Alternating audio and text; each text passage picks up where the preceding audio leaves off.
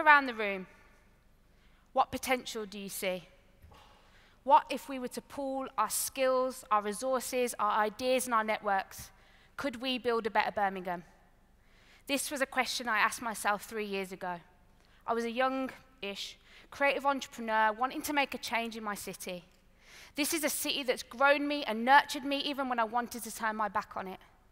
This is a city that shaped my voice. Quite literally, I couldn't get rid of this accent if I tried. It shaped my voice, my values, my enterprising spirit, and it's fed my thirst for culture and art. And I wanted to be more and do more for it and with it, and I wondered if others felt the same. And at the same time, I was frustrated with the dissonance the, between the institutions that pillared the city and the kind of young person that I resonated with.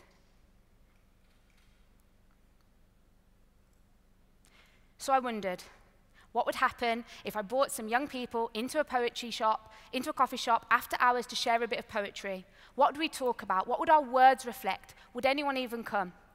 And they did come. And what I thought was just a cool little poetry jam was actually the start of a movement of people that would soon outgrow that coffee shop. I had built a thing.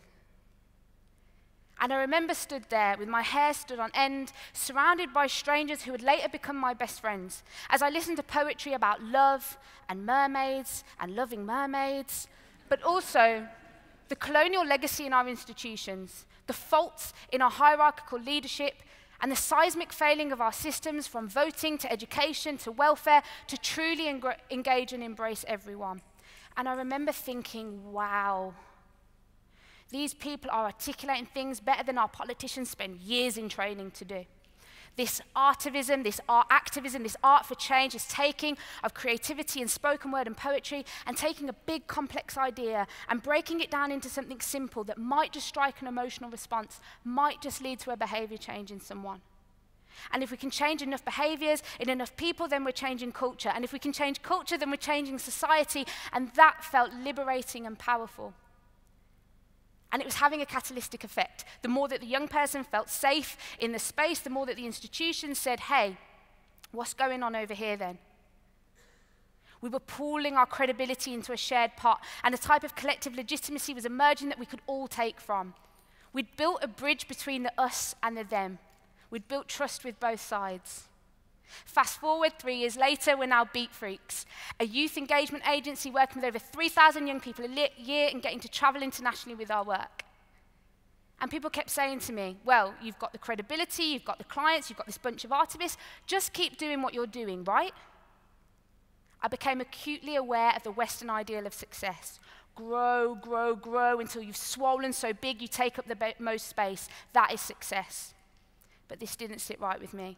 Don't get me wrong, I'm fiercely ambitious and I'm proud of it. But I wanted to grow something that would grow from me, grow with me, and most importantly, would outgrow me.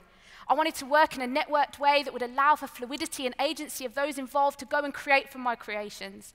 I wanted to build the thing that would build more things. And I went back to that poetry jam, and it was the same goosebumps, but now different strangers. And I asked myself, what more can we do here?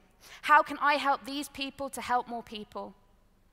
All of these little networks were spinning out of Beatfreeks and going off and doing their own thing. We had the art, we had the people power, and we'd recognize the faults in the system. But how could we translate all of that into change? How could we make more space to make change at a systemic level? I knew that understanding the bigger picture was key, but unfortunately, systems are still designed and communicated in a way that isolates the masses.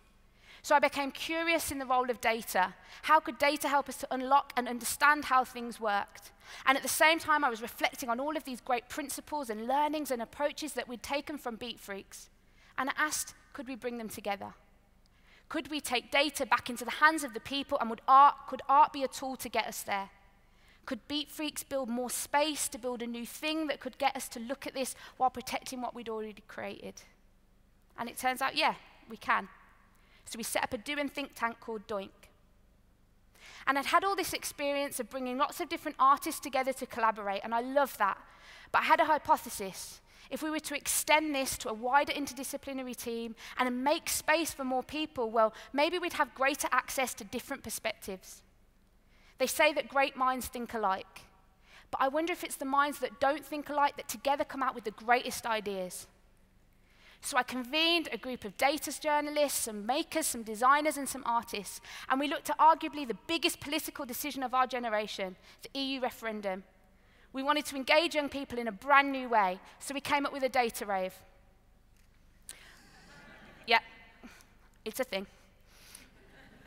We took complex, boring, confusing jargon and we broke it down into beautiful, simple things that people could understand. And at the same time, we used artistic interventions to capture insight from young people, to allow their voices to be heard. We showed them how the thing worked, how they could change it, and why they were instrumental in that true participatory democracy.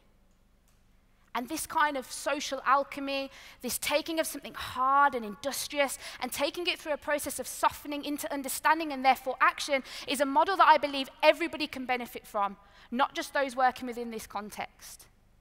And for us, it won't end with data.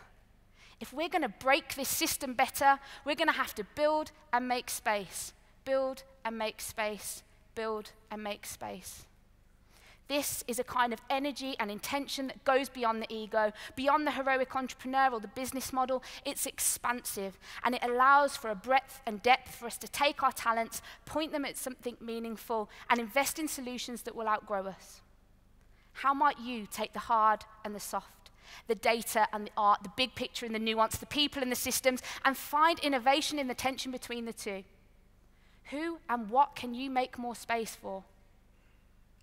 Build the thing. Go out, try it, test it, play with it, tinker with it, break it, put it back together. Ask yourself, what is the best that can happen? Build the thing that builds more things. Be generous in your learnings, open your social capital, and let go. Empower others to create from your creations. Take the power of the things that you know, apply them to the things that you don't, and do it with people who know more than you. Look around the room. What potential do you see? Thank you very much.